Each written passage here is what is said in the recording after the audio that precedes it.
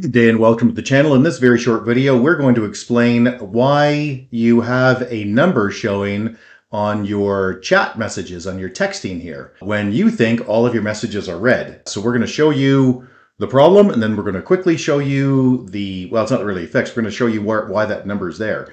So let's go into this. Uh, we'll click on the icon and we'll tap it.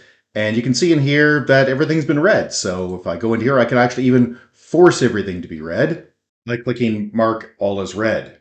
But look, it still shows one. What the heck is going on? Also, the lock screen will show you that you have a text, even though you don't seem to think you do. All of these texts are read. Where is this unread message? What is it talking about? Well, click the hamburger on the left, uh, call it hamburger, the uh, three lines for settings, and then go to spam and blocked. And in here, this message is unread. You also may have a message showing as unsent, and that can cause this problem. How would you have a message that was unsent? Well, the person that you were sending to was offline. There was a problem with your phone. In my case, I had accidentally flipped it off to flight mode by accident. Now let's go back to the homepage.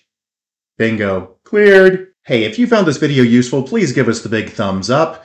Uh, subscribe's also always appreciated. Hey, if you have any questions or concerns, you can also get a hold of us directly at www.urtech.ca. That's www.urtech.ca.